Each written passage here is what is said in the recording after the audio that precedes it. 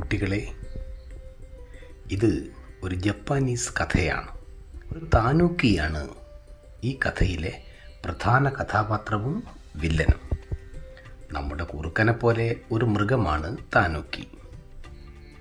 കാട്ടിൽ വേട്ടക്കാരുടെ നീണ്ട നാളത്തെ പേക്കൂത്ത് കഴിഞ്ഞപ്പോഴേക്കും ജീവികൾ തീർന്നു എന്ന് പറയുന്നതാവും നല്ലത്. ചത്തു തീർന്നതിൽ പക്ഷികളും മൃഗങ്ങളും ഇഴജീവികളും ഒക്കെയുണ്ട്. ബാക്കിയുള്ളവ ജീവനും കൊണ്ട് കാട് വിട്ടു. എങ്ങോട്ടോ? അതങ്ങനെയാണല്ലോ. ബാക്കിയായത് ഒരു താനൂക്കിയും ഭാര്യയും മകനും. ജീവൻ രക്ഷപ്പെട്ടെങ്കിലും അവരുടെ ജീവിതം അത്ര സുഖമുള്ളതായിരുന്നില്ല. ഭക്ഷണകാര്യം തന്നെ പ്രശ്നം. എന്തെങ്കിലും സൂത്രം പ്രയോഗിച്ചില്ലെങ്കിൽ പട്ടിണി കിടന്നു മരിച്ചു പോവും കുടുംബാംഗങ്ങൾ തല പുകഞ്ഞാലോചിച്ചു. ആലോചന ആലോചന. ഒടുവിൽ ഭാര്യ ഒരു ഉപായം പറഞ്ഞു. നിങ്ങൾ മരിച്ചതായി അഭിനയിക്കണം. ഞാനൊരു മനുഷ്യന്റെ രൂപമെടുത്ത് നിങ്ങളെ ചുമന്ന് ചന്തയിൽ കൊണ്ടുപോയി വിൽക്കാം. താനൂക്കികളുടെ തൊലിക്ക് നല്ല ഡിമാൻഡാണ്. ആളുകൾ വേഗം വാങ്ങും. നിങ്ങൾക്കാണെങ്കിൽ സൂത്രത്തിൽ രക്ഷപ്പെടാനും അറിയാം. അടുത്ത തവണ നിന്നെ ഞാൻ വിൽക്കാൻ കൊണ്ടുപോകാം. അല്ലെങ്കിൽ ആളുകൾക്ക് സംശയം തോന്നും.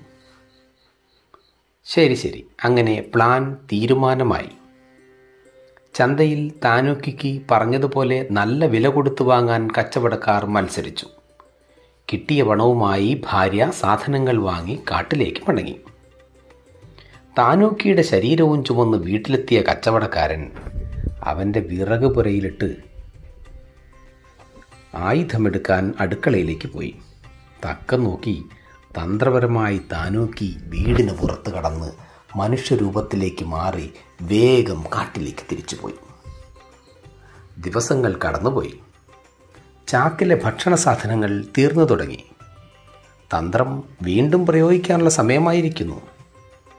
ഇത്തവണ നേരത്തെ തീരുമാനിച്ചതുപോലെ ഭാര്യയെയും ചുമന്ന് താനൂക്കി അങ്ങാടിയിലെത്തി. വഴിയിലുടനീളം താനൂക്കിയുടെ ചിന്ത കാട് കയറുകയായിരുന്നു. ഈ തന്ത്രം ഇനി അധികം നടക്കില്ല. വേറെ ഇത്ര എളുപ്പത്തിൽ നടക്കുന്നൊരു തന്ത്രം ഓർമ്മയിൽ വരുന്നുമില്ല. ഇവളെ അങ്ങ് ഒഴിവാക്കിയാൽ കിട്ടുന്ന ഭക്ഷണം രണ്ടു പേർക്ക് കഴിക്കാം. മെല്ലെ മകനെയും ഒഴിവാക്കണം. ഇല്ലെങ്കിൽ തന്റെ ജീവിതം അവതാളത്തിലാകും. തൽക്കാലം സ്വന്തം ജീവൻ നോക്കുക. അതാണ് ബുദ്ധി. കച്ചവടക്കാരനോട് താനോക്കി ചെവിയിൽ പറഞ്ഞു നോക്കൂ ഇത് ശരിക്ക് ചത്തിട്ടൊന്നുമില്ല കേട്ടോ. ഒന്ന് ശ്രദ്ധിക്കണം.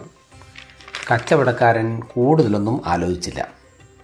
കയ്യിലുണ്ടായിരുന്ന ഇരുമ്പ് വടികൊണ്ട് താനൂക്കിയുടെ ഭാര്യയുടെ തലയ്ക്ക് നല്ലൊരടി കൊടുത്തു.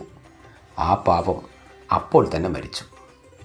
വീട്ടിലെത്തിയപ്പോൾ താനൂക്കിയുടെ രീതി മാറി.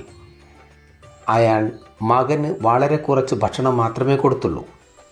അമ്മ എവിടെയോ മുങ്ങിയതാണ് എന്ന് കള്ളവും പറഞ്ഞു. പാവം മകൻ. അവന്റെ വയറ് കത്തിക്കാളി. അമ്മയ്ക്ക് എന്തോ ആപത്തുണ്ടായെന്ന് അവന്റെ മനസ്സിൽ പറഞ്ഞു. താനൂക്കിയുടെ പെരുമാറ്റത്തിൽ വന്ന വ്യത്യാസവും അമ്മ വരാഞ്ഞതിൽ കാര്യമായ പ്രയാസം കാണിക്കാത്തതുമൊക്കെ വെച്ച് അച്ഛന്റെ ചതിയാണിത് എന്ന് അവന് ഏകദേശം ധാരണയായി. അച്ഛാ ഇത്ര ദിവസമായിട്ടും അമ്മ വന്നില്ലല്ലോ. നമുക്കൊന്ന് അന്വേഷിച്ചാലോ? നിനക്ക് ഞാൻ പറഞ്ഞത് മനസ്സിലായില്ലേ? അവൾ എവിടെയോ മുങ്ങിയതാണല്ലോ നല്ല ഭക്ഷണം കിട്ടുന്ന സ്ഥലം കണ്ടു കാണും. അവൾ പോട്ടടാ. ഇനിയിപ്പോൾ ഉള്ള ഭക്ഷണം നമുക്ക് രണ്ടാൾക്കാവുമ്പോൾ കൂടുതൽ ദിവസത്തേക്ക് തികയുമല്ലോ. അവൻ ഒന്നും മിണ്ടാതെ തലയാട്ടി. കാര്യങ്ങൾ ശരിക്കും മനസ്സിലായി കഴിഞ്ഞു. പിറ്റേന്ന് രാവിലെ അവൻ അച്ഛനോട് പറഞ്ഞു അമ്മ പഠിപ്പിച്ച മായാജാലങ്ങൾ എനിക്കൊന്ന് പ്രയോഗിച്ചു നോക്കണം. എന്താ? ഞാനൊന്ന് രൂപം മാറി നോക്കട്ടെ? ആവട്ടെ നീ ചെയ്യുന്നത് ശരിയാണോ എന്ന് ഞാൻ നോക്കാം. കാടിന്റെ അതിരിൽ അങ്ങാടിയിലേക്കുള്ള വഴി തുടങ്ങുന്ന ഇടത്താണ് അവൻ പരീക്ഷണത്തിന് തിരഞ്ഞെടുത്തത്. താൻ പ്രതികാരം ചെയ്യുകയാണ്. അവന്റെ ഹൃദയം പടപട ഇടിച്ചു. ഞാൻ പാലത്തിലുണ്ടാകും. അച്ഛന് എന്നെ തിരിച്ചറിയാമെന്ന് നോക്കാമല്ലോ. പത്ത് മിനിറ്റ് കൊണ്ട് ഞാൻ വരാം. നീ പാലത്തിൽ നിന്നോ? ഏത് രൂപമെടുത്താലും നിന്നെ ഞാൻ കണ്ടുപിടിക്കും. എന്റെ അടുത്താണോടാ ചക്ക നിന്റെ വേല? താനോക്കി പൊട്ടിച്ചിരിച്ചു. മകൻ പാലത്തിലെത്തി. അവൻ രൂപം മാറിയില്ല. ഒരു മരത്തിന് പിന്നിൽ ഒളിച്ചിരുന്നു. അവിടെ ഇരുന്ന് തന്ത്രങ്ങൾ ആലോചിച്ചുകൊണ്ടിരുന്നു. സമയമാകാറായി. പെട്ടെന്ന് രാജാവും പടയാളികളും ഒരു ഘോഷയാത്രയായി വരുന്നത് അവൻ കണ്ടു. അവൻ പാലത്തിലേക്ക് കയറി. മകൻ ഒന്നു പതുങ്ങി. താനൂക്കി അപ്പോഴാണ് വന്നത്. മകൻ രാജാവിന്റെ വേഷത്തിലേക്ക് രൂപം മാറിയതാണെന്ന് തന്നെ താനൂക്കിക്ക് തോന്നി. നീ രാജാവായാലും മന്ത്രിയായാലും നിന്നെ ഞാൻ പൊക്കുമെടാ എന്നും പറഞ്ഞ് താനൂക്കി രാജാവിന്റെ മേൽ ചാടി വീണു. ഭടന്മാർ ഒന്നു ഞെട്ടി. പക്ഷേ അടുത്ത നിമിഷം അവർ വേണ്ടത് ചെയ്തു. അവർ താനൂക്കിയെ തൂക്കിയെടുത്ത് നദിയിലേക്ക് വലിച്ചെറിഞ്ഞു. ദുഷ്ടതയുടെ അന്ത്യം ഇങ്ങനെയൊക്കെ തന്നെയാവും അല്ലേ?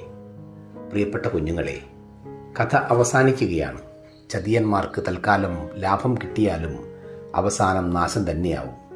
സ്നേഹം നിറയട്ടെ. ശുഭദിനം.